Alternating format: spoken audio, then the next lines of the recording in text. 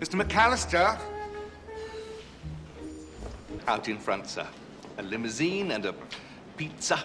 Compliments of the Plaza Hotel. Have a lovely day.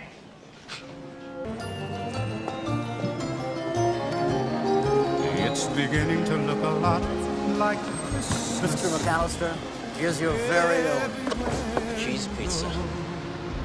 Take a look and find a sight to see is the holly that will be Hello? on your own. Hello? Know any good toy stores? Yes, sir.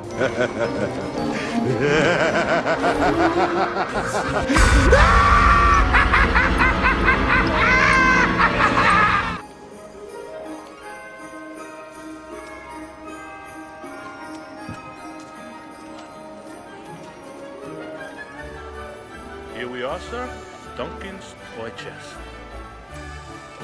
Merry Christmas, Kevin. Don't get excited, kid. I've been here before. I will.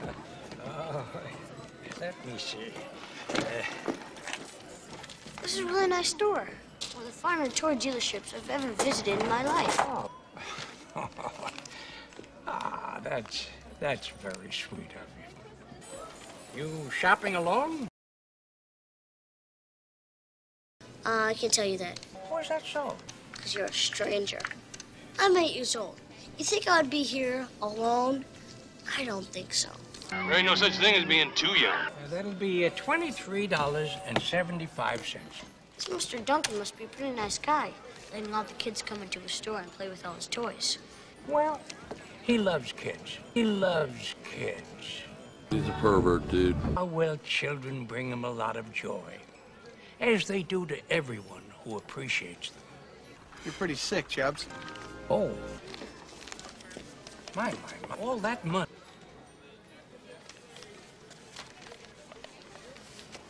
Mr. Parrish, I can't take this. Eh? You see that tree there? Hmm? Well, to show our appreciation, I'm gonna let you select an object from that tree that you can take home with you. For free?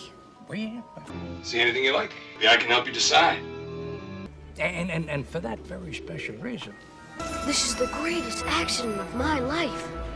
Thanks. Ah, that's, that's very sweet of you. Merry Christmas.